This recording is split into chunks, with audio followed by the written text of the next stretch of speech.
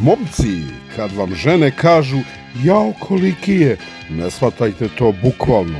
Isto to kaže i za malog pauka na zidu. Toliko za danas, ostanite čisti i zdravi, ljubi vas vaša opuštena bleja.